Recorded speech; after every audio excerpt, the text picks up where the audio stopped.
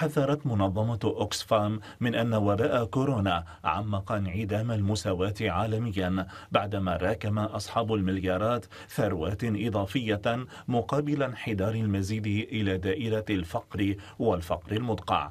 ورجح التقرير الذي حمل عنوان فيروس انعدام المساواة أن يحتاج الفقراء إلى أكثر من عقد حتى يتمكنوا من الخروج من دائرة العوز وقدرت المنظمة أن فرض ضريبة تطال الأرباح الاستثنائية ل 32 شركة خلال تسعة أشهر كان سيساهم في جمع أكثر من 104 مليارات دولار وهو مبلغ كاف لتأمين مساعدات لجميع العمال في جميع البلدان المتوسطة والمتوسطة منخفضة الدخل.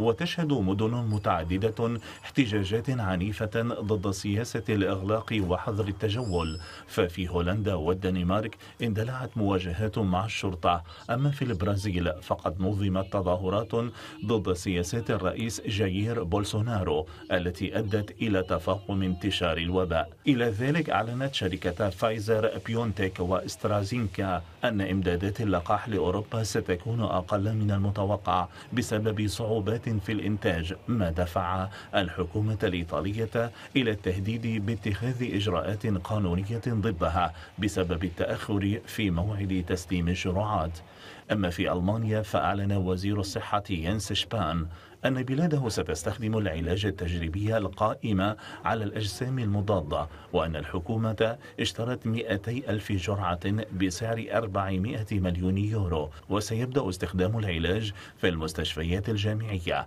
الأسبوع المقبل.